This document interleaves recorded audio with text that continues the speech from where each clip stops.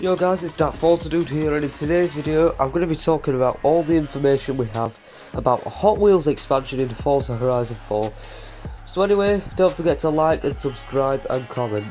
Let's get straight into this.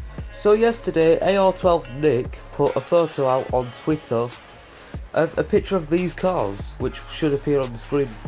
Now, this does show that we could be getting a Hot Wheels pack I mean, the images don't look clickbait to be honest. They look pretty real.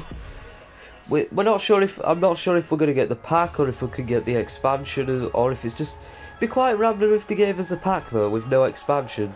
You know, like that just make no sense.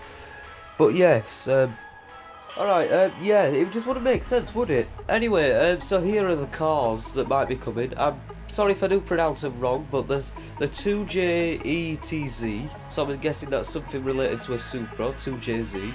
The Chevrolet LUV and the International. Now, we also have some more as well. Uh, we have the AM Roadster, the Nash Metropolitan, however you pronounce that, and the... And the Ford F5. Hopefully, right, um, if we do get the expansion, hopefully it isn't the exact same as Forza Horizon 3's. Like, don't get me wrong, it was a nice expansion and all. Hopefully it's a lot more different, which it should be. I would have preferred another expansion, because, well, you know, we've had, as, we've already had the Hot Wheels expansion in Horizon 3, you know. It'd have been better if they added some other expansion. But anyway, I hope you guys enjoyed this video. We'll see what happens on Monday on Forza stream.